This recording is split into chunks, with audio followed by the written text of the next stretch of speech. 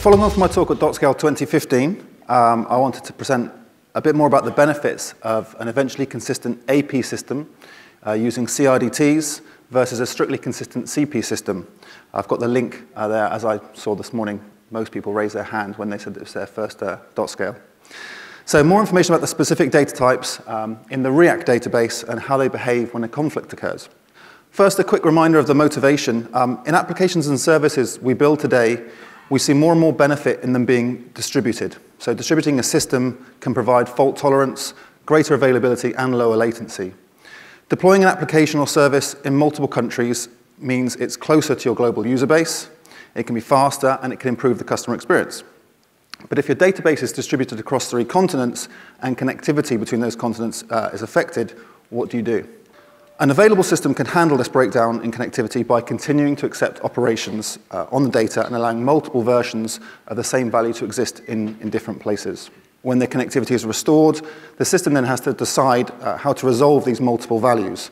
It could keep all of the updated values and return them all when a client requests the data, or it could attempt to resolve the conflicts using its own resolution logic.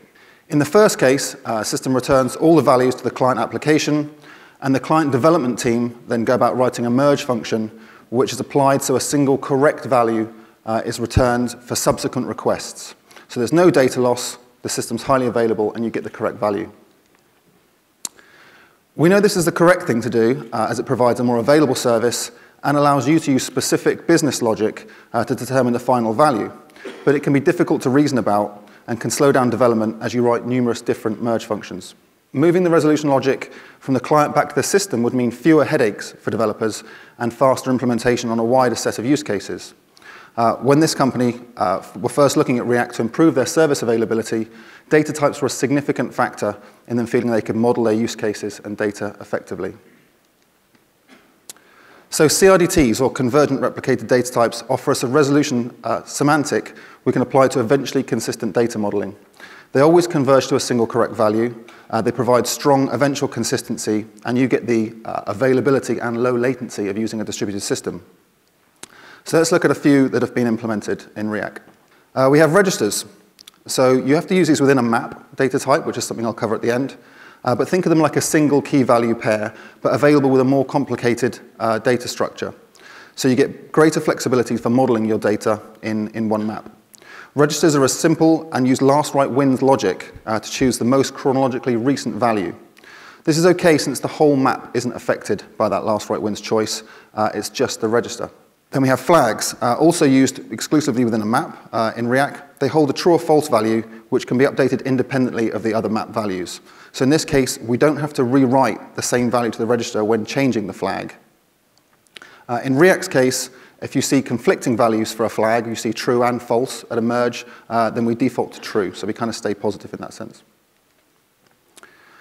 We also have counters. Uh, so they can be used on their own or within a map. Uh, we use a PN counter to keep track of all increments and decrements that are made by an actor. Um, talked about actors a bit this morning, but an actor in this case represents a server within the distributed system.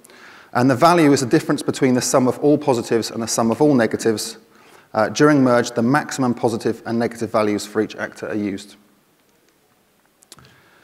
We have sets, uh, can also be used to store specific key or use within a map. Um, easy to imagine sets, uh, use cases would be things like your followers list on Twitter, um, attendees at an event, or a playlist on Spotify. Uh, sets support groups operations, for example, adding element X and removing element Y in the same update they also have the add win semantic, meaning concurrent add and remove operations on the same element result in the element being in the set. And then lastly, maps. Maps can contain other maps. Uh, so they allowed real flexibility when building a complex data structure in this eventually consistent system. If a field is added or updated and concurrently removed by different actors, the add or update will win during the merge, continuing this kind of add-win semantic.